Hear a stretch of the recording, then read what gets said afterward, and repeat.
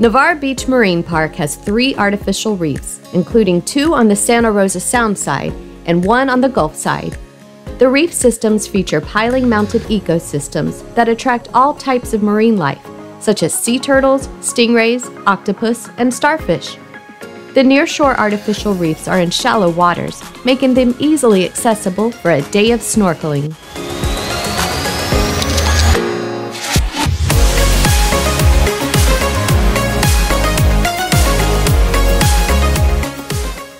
Destin is home to some fantastic spots to go snorkeling right off the shore, including the East Pass Jetty and Henderson Beach State Park. The jetty is accessible by boat or by using the Osteen Public Beach Access Point. There's plenty to see beneath the waters, including colorful fish, crabs, sea turtles, and dolphins. Santa Rosa Beach is home to Topsail Hill Preserve State Park and Grayton Beach State Park, where you'll find man made reef systems in the shapes of a sea turtle and a seahorse.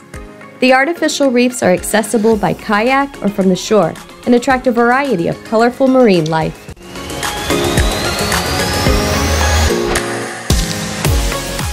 In Panama City, check out Jetty Beach and St. Andrews State Park and Shell Island.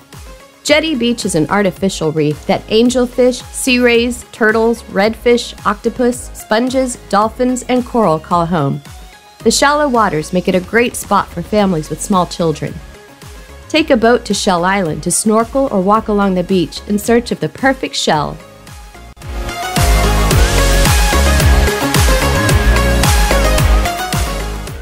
Ponce de Leon has two crystal clear springs, Ponce de Leon Springs and Morrison Springs. Both are about 68 degrees year round, and the depth in Ponce de Leon Springs ranges from 1.5 to 30 feet. Catfish, panfish, and largemouth bass all call this spring home.